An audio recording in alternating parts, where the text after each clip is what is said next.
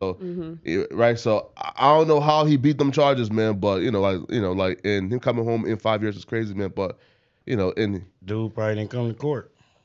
now I think Wack told a story in on Clubhouse, man, where like where like people was trying to like make it seem like Wack was hating, and Wack said, "Ask Pooh Shiesty's dad, yo, you know, and and who like and went to that club and make that case case like go away, right? So I don't know, you feel me, right? But you know, and he's just border like border than a motherfucker right now, bro. You feel me? How Like he be knowing everything though? who me? No. What? Uh, what? No, so I, I think Wack and like Pooh Shiesty's dad is like close, like tight. But he be knowing everything. Yeah, man, bruh.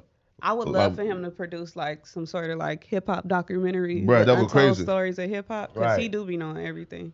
And Wack tapped in, That'd man. cold. Yeah, that would be cold. That'd be cold. What? A hip hop doc on yo, on Hell yeah. bruh.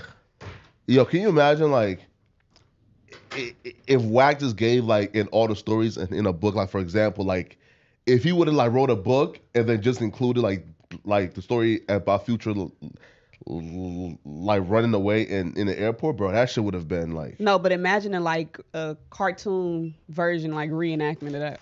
Ooh. The future running through the the court. I That'd mean the uh, the airport. You That'd think that, that ever happened though? crazy. I, I, here, right? So do y'all actually think that Future ran? Cause I'll be real, I never heard Wack lie, like in terms of these stories, right? But like Future denied it. So like, do y'all think that Future was doing a forty yard dash? I think the only way Future would have did a 40 yard dash is if it would have been more than just Wack walking up to him. Ooh, Well, like Wack said, it was him and him, him, him and Big U that was there.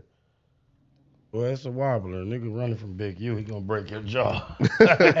Big U ain't no joke. I mean, I'm just imagining future boning out in the airport. Well, like apparently, and it was just Future and Ciara yeah, he left And he Ciara. left and broke. Ciara. bounced, and while running, and he was calling like Birdman. Yeah, it's about yeah. See, that's what I didn't get in that story. That's why Birdman- it didn't make sense. So he on he running like this, and he down like Birdman, nigga chasing me, woo! And then he said, soon he got up to him, he threw the phone to him and said, "Hey, Birdman, wanna holler at you?" Listen, right? So look, right? So look. If I'm in South Central and the goons pull up, I'm doing a 40 yard dash while dialing Smac's number. You feel me?